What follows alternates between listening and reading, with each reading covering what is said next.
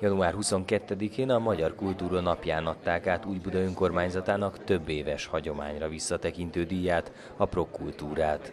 Az elismerést 1997 óta azoknak adományozzák, akik kiemelkedő, elsősorban művészeti tevékenységet végeztek a kerület művelődésének kulturális színvonalának növelésében.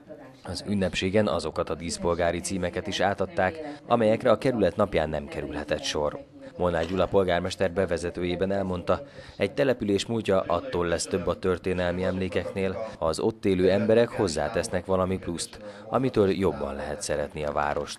Elsőként Mészáros Márta filmrendező vehette át a díszpolgári címet, aki életművével és tevékenységével járult hozzá a kerület fejlődéséhez. A rendezőnő azt is elmondta, mióta új Budára költözött, eldöntötte, hogy soha nem hagyja el a kerületet, és örül, hogy a városrész dinamikus fejlődése közben a kulturális élet fellendítésére is ügyelnek.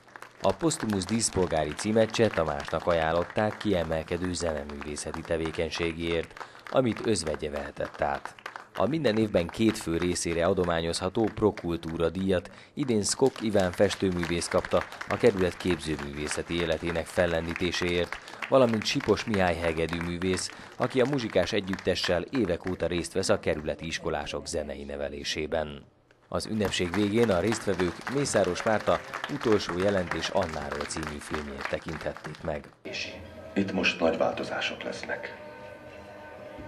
Előkerülnek olyan dolgok, amiről senki nem tud.